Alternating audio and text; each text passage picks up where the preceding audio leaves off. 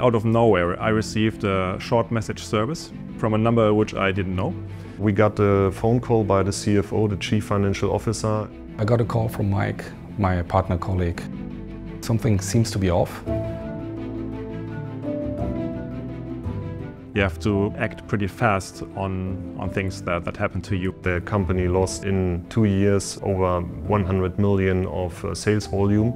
So we immediately understood that the whole scheme was fraudulent, basically.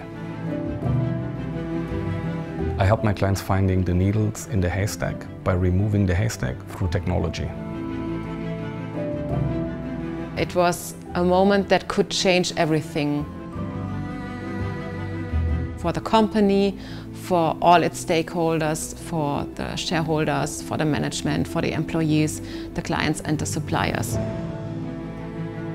At the end of the day, we successfully stabilized the liquidity situation of the group. We increased the, the operating margin, we increased the EBITDA, we rebuilt the trust. It just showed if we work together and bring everything together, we can actually help clients out of a crisis. I am Mike Zoller. My name is Gero Güllmeister.